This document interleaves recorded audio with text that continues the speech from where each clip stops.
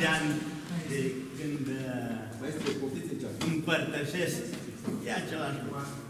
E același lucru. De când împărtășesc bucuria de a fi în Bacău și de a oferi publicului băcăuan ce e mai frumos. Limbajul muzical. Am, uh, în momentul în care au apărut trei absolvenți la mine în birou, cu repartiție, noi am venit la Bacău. Suntem o formație care dorim să creștem, dorim să ne studăm, dorim să devenim formație de sine stătătoare, dar nu vrem să stăm în Bacău. ne dați aprobare? Dar ce vreți să faceți? Păi, întâi vrem să încercăm să mergem prin Agenția Română de Impresariat, mergem să lucrăm în străinătate și dacă după aceea ne întoarcem la... Ok, am semnat, au plecat, s-au dus, s-au întors, au venit la Bacău, le-am uh, făcut contractul de angajare, cum se făcea pe timpuri, după aceea, dar uh, totuși noi am vrea să, am vrea să avem activitate, să vreți să fiți formații de sine stătătoare. Am înțeles. Au devenit formație de sine stătătoare pentru că am avut posibilitatea să extrag un număr de locuri din tot, din tot statul de funcțiuni și i-am nominalizat formație de suflători, așa cum au dorit ei, trio Siring.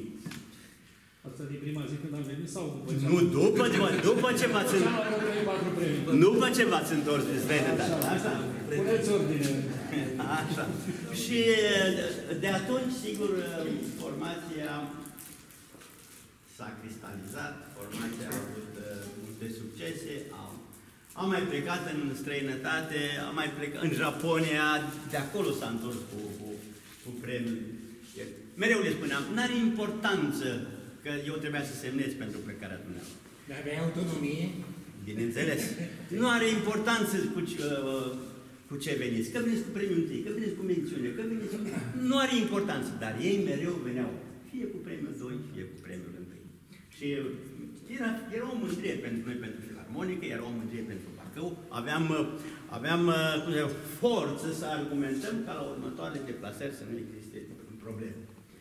Și să nu lungesc prea mult, în, după ce ne-am mutat de la Cuzavodă aici, în centrul orașului, treceam, cum adesea eu sunt prin filarmonică, n-are importanță pentru mine ora, programul, niciodată.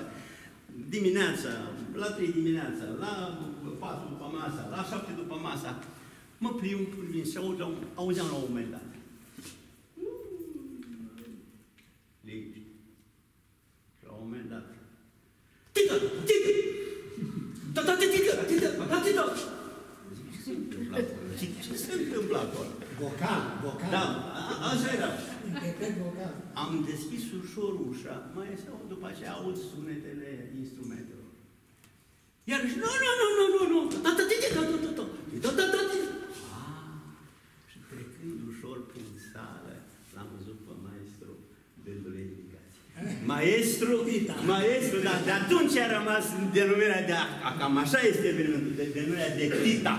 Tita, Tita, tata, Tita. Eh, dar maestru cu Tita, Tita, Tita, eu vă spun sincer, eu sunt mereu emoționat pentru că sunt în preajma unui geniu.